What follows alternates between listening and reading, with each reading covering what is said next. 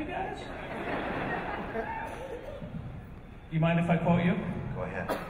The Salt Lake City fans are the best fans that I have encountered, and I've been doing these cons for a long time. Quote.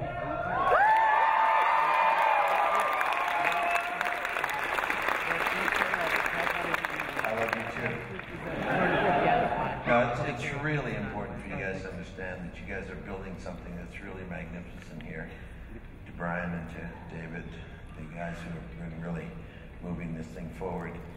Uh, because of your support, this Comic Con convention has become uh, the third largest in the country.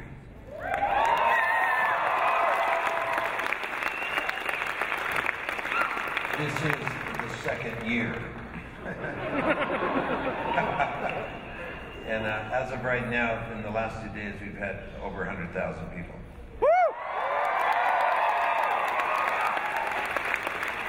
And what it means, what it means is that basically that Salt Lake and the surrounding, the regions around here, uh, really, really appreciate and want this to happen, and that's really amazing.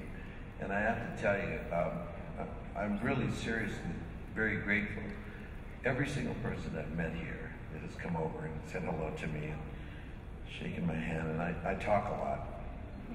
I don't know if you've come over. How many people have come over? Raise your hands. For those of you that haven't, too bad. You could actually talk to me. I mean, really one on one. I mean, we really get down to it, and it's really amazingly wonderful because the kind of people that you are comes out, and it really is simple to see. And you feel the warmth, the understanding, the commitment, the passion of people. You go to some uh, conventions and you don't get that. You don't get that at all. Matter of fact, you get a sense of urgency and, and a sense of possessiveness, like they own you or they feel like they, you know, you, you have to do something for them. And it's really, it's a strange feeling because we're here really to say thank you to you. That's why everybody's here. And uh, it's a big love fest. So I thank you from the bottom of my heart, man. And ev- anybody that wants to ask me questions, Yeah, he please said start we lining start up. right away, Start so- lining up so we don't have to wait for you to walk all the way down here. All right? So don't get lazy. Just come on up here and we can get to the Well, I say we start. We got a line already. yeah, I know we do. Let's start. Let's start. Okay, ladies and gentlemen, we're going to get into it right off the bat. Go for it, man. How you doing? I think we're doing great. Thank you. Awesome. Huge fan. I grew up watching Miami Vice. Lieutenant Castillo. Did he, did he scare you as Lieutenant Castillo? He scared me as a kid as I was Lieutenant Castillo. scared to He's a death. Bad man. Scared to death.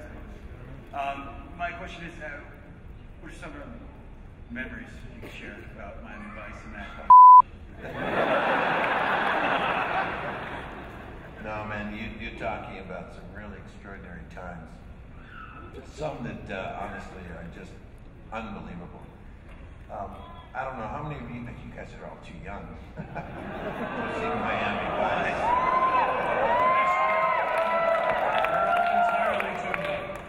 The elders just started screaming. Do you believe it? All the young people are going, "What the hell's that?" Miami, what? No, uh, actually, the, the the most, I guess, the stories that most make people like, "Oh my God," are the stories of how the situation got started. I was the second lieutenant. The first lieutenant had gotten uh, Gregory Sierra had gotten uh, killed by his own request. He told Michael, man, kill me. I want off. And it was true. I mean, he wanted off the show. So they killed him in the third episode. And they were shooting, they were rolling. So I was called on, on, on the day, uh, one day, and Michael calls me up and says, listen, we need you to do our, our uh, we, I need you on the show. I need you, I want you to be on Miami Vice. And I, look, at Miami Vice hadn't aired yet. There was nothing. I mean, nobody knew. But just the title got me. I said, Miami Vice. Oh boy, sounds like Starsky and Hutch. it's like you know one of those kind of things, you know, where the hero's always the hero, and you know you know who the hero is, and the heroes always win, you know. And, and sure enough, when they sent me the, the tapes of the first two shows, it was that way. They had dismissed the FBI, they had dismissed the CIA, they had dismissed their own lieutenant. That's why he wanted off the show. There was no respect for anybody. Everybody, you know, they would be doing a scene and all of a sudden, you know, they'd be talking to the, the governor of the state and then they'd look at each other and they'd give themselves that look like they know. And then they'd look back at the governor and go, and of course, no one's supposed to know except the audience. Oh, they know. They got. They're going to take care of it. So that kind of filmmaking and that kind of acting is the kind of stuff that was going on. And I was scared of this because basically it's the kind of stuff that I, I mean. I, turned down Hill Street Blues. I turned down um, NYPD Blue. Now those shows didn't do that. Okay, those shows didn't even get close. People died on those shows. Yeah, it was really tough.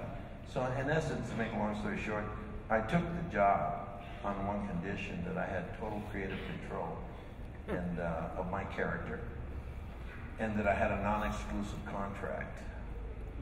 So that means that I could come and go as I pleased. And that's the reason I got to do Stand and Deliver, and I got to do Mama Lucia, which was uh, I got to do Triumph and Spirit. I got to do a lot of movies during the time period that I was doing Miami Vice because uh, I couldn't sign an exclusive contract, and they kept on raising the, the. He called me back five different times, and he kept on raising the the, the, the price on my paycheck. And and I at one point I took the phone away from my ear and I just said, "Man, if I only knew that all I had to do was say no." I started saying no a long time ago. But, so when I took the job, I took it under the, that, that understanding. So he says, he finally checkmated me because we were working with NBC at the time. And he ended up saying to me, uh, okay, you got it. He called me back the last time. And he says, you got a non-exclusive contract and you have creative control of the character. And, and I said to him, because uh, he checkmated me. And I said, oh man, I never thought that they would do that. never, you know?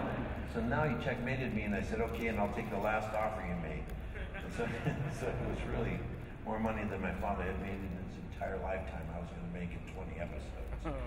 It's terrible. I mean, it's really, really hard to take. He's being serious. I am. Serious as a heart attack. Think about it. Your parents worked their entire lives for 45 years? Breaking their backs and doing stuff that is just really hard to do. You know, blue collar stuff, you know, welder, you know, working as assholes and then all of a sudden, you know, oh, yeah, we'll give you this, you know, and then just pour money just. you say to yourself, man, this is not fair. It really isn't fair, and it isn't, guys. It really isn't. And uh, you know, it's like what we pay school teachers versus what we pay, you know, athletes.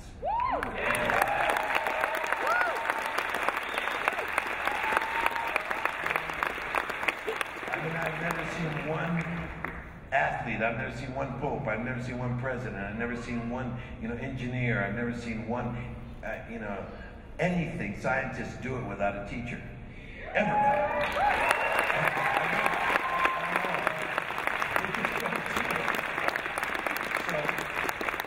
It just hit me that way because that's how I, I got into this. So you asked me the question.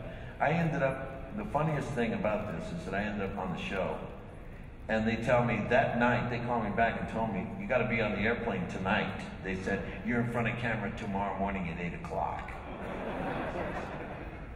Get a haircut. I didn't get a haircut, man. I, I just, look at my, look at me. I, you're going to see that they are. Yeah.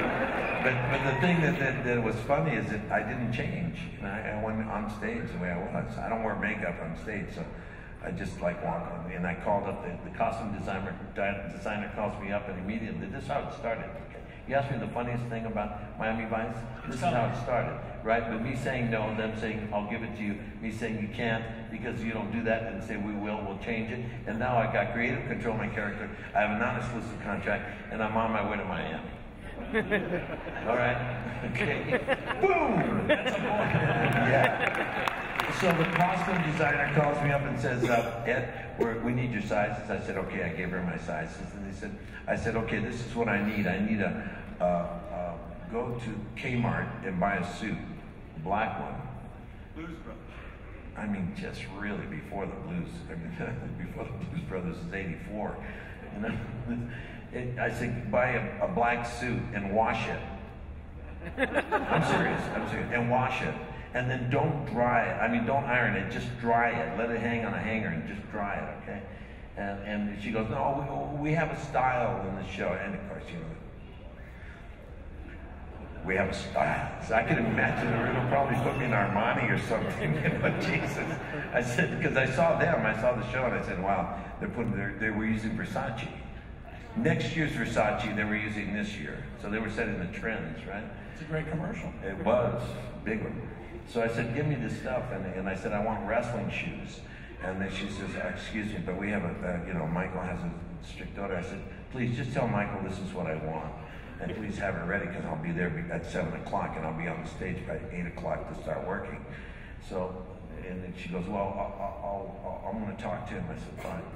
And so I got on the plane, I'm, I'm flying over there, and I'm all the way over. I'm going, oh my God, what am I going to do? This is really serious. So, first thing I did, first day of work, I got into a fight with both Phil Michael Thomas and Don Johnson. right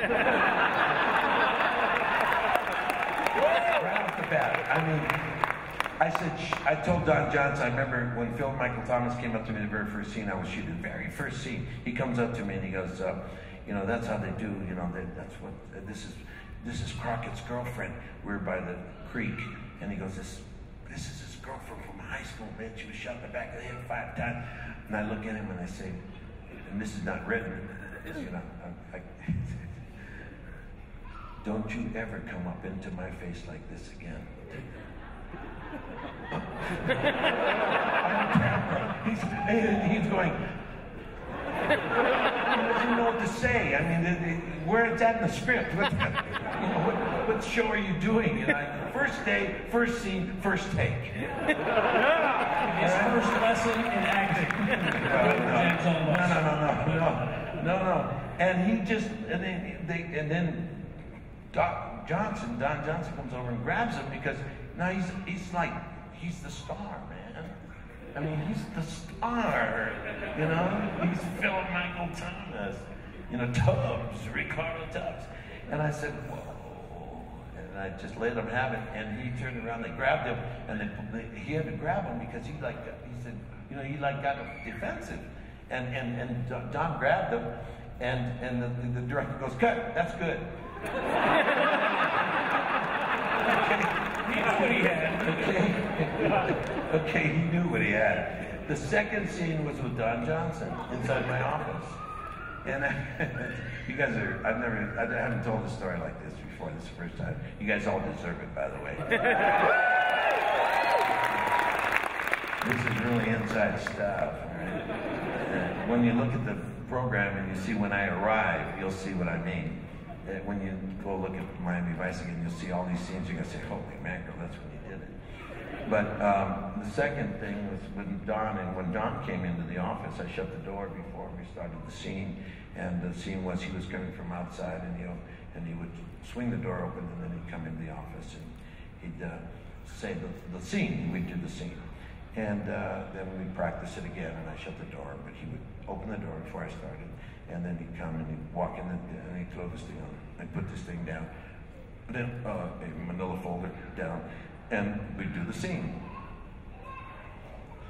Okay, we're ready to go. Let's start. It. Everybody quiet on set. Let's do it. Okay. I shut the door. He comes over. He goes, "No, Ed, Ed, leave the door open, man. There's no door closed, and this is the OCB room, and, and there's no, no, everything's open. We just walk in and out. I, we don't mess with doors." I said, "Excuse me, Don. I'm sorry." um, this is my office.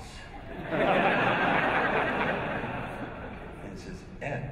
I said, Don. And I knew Don. I had worked with Phil, Mike, Phil Michael Thomas in 1971. I had worked with Don Johnson in 1973. We had worked together. We knew each other. It wasn't like, you know, I came to work and I didn't know these guys. We had known each other. So I, I, I said, Don, shut the door and, and knock on the door before you come in.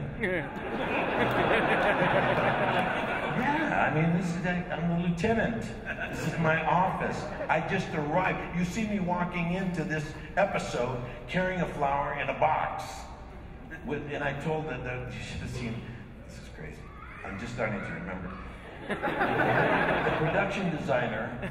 Okay, I won't even tell you what, what the what the costume designer did to me. Okay, I won't get get into that one. You know, but I wore my black suit, as you all know. Okay, and it was a wash and wear suit, and it was not ironed, and you you know you all seen what my I never changed. I wore the same suit for five years that I was on the show, and uh, so Don says, uh, you know, don't open up this can of worms with me, Eddie.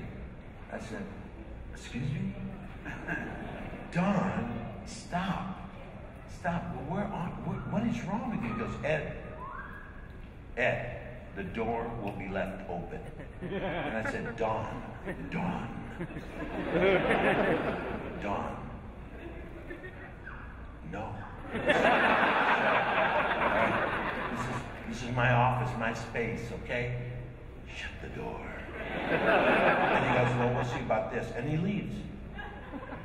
He leaves.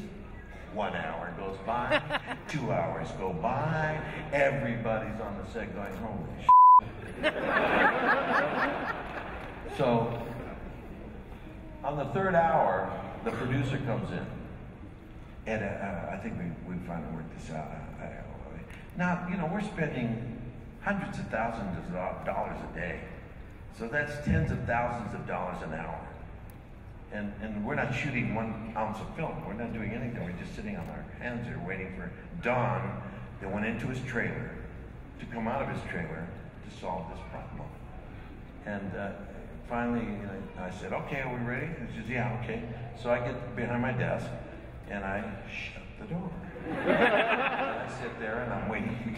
I'm waiting for the director, and the director says, "Okay, go ahead and say, let's go." I haven't seen the guy. I haven't seen nothing. Didn't, we didn't talk. We hadn't done anything. I hear,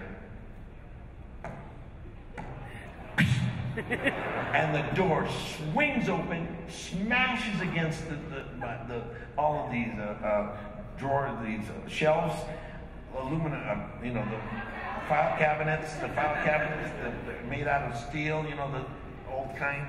And, and, and the windows had Venetian blinds on them. So they go,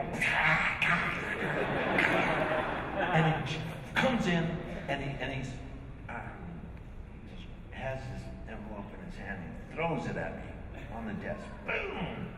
And I had told the production designer, of course, you know, they had all kinds of stuff when I got there. They had all kinds of books in the sh- bookshelves. They had all kinds of papers all over my desk. They had pipes. They had all kinds of stuff all over the place. I said, take it all out. I, I want nothing in this room. And he goes, excuse me. I want nothing in this room. So the room was completely barren because the other lieutenant had been killed. And that was all I said, I don't want anything. Uh, get everything out. I want it clean. If you leave anything, leave a, little box of aspirin right at the corner of the, of the desk. That's it. That's it. Okay. And so he threw the, the door open, and, and, he comes in. Nothing's anywhere. It's everything's. And he throws this at me. I look. Boom. Throws, and, I, and the scene's. And I look at the paper. I look a little bit up. I don't even look at his eyes. I just look up. I grab the thing. And I turn around sideways. I look at it. And I said, okay, I'll, I'll, I'll take care of this. And that, I, I, didn't even do the scene. You know, we don't do, I didn't do the scene. And I said, okay, I'll take care of this. And so he walks and he walks out. And that's the scene, right? From that day, for almost the whole year of filming, almost like 13 to 15 episodes, I never looked once at him again. him or Philip Michael Thomas. I never looked at them again.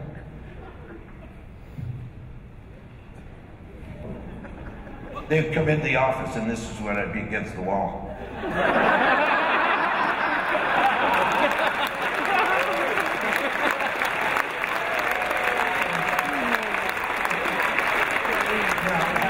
tried to be real cool when somebody's not looking at you and giving you any respect. It's really hard to be real cool. So their cool went right out the window. And it was from that moment on that the show really took off.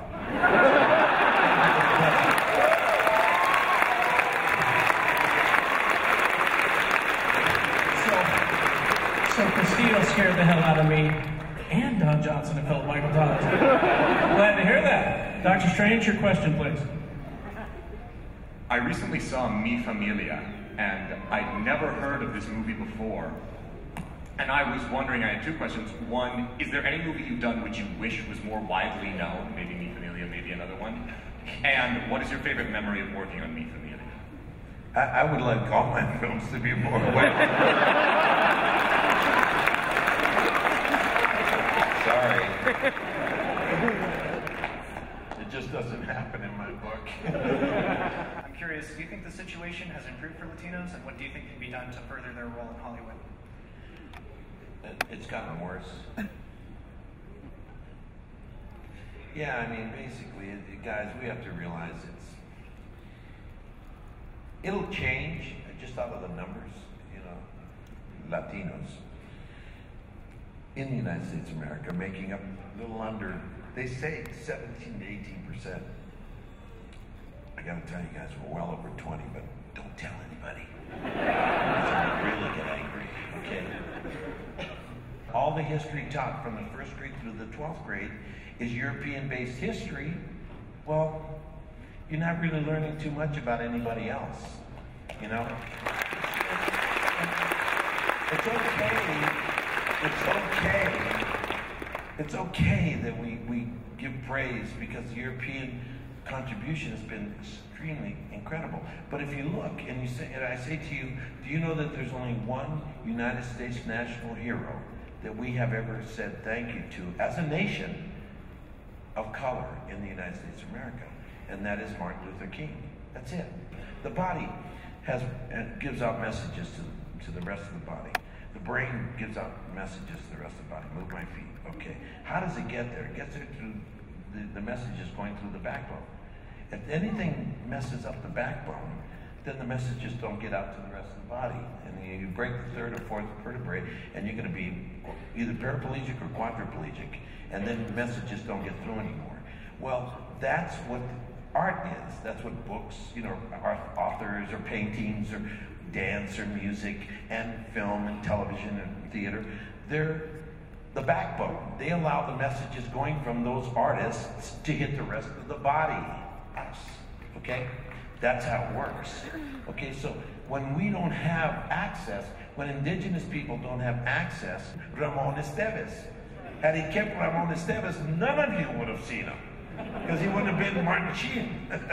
and he wouldn't have done Apocalypse Now. He wouldn't have done all the stuff he did. Because he was a Martin Sheen, he was, you know, just another, you know, Caucasian European person, so use him. Mm-hmm. But in essence, that's the difficulty. And, and that's what I loved about Battlestar. Battlestar, forget it. You didn't even care.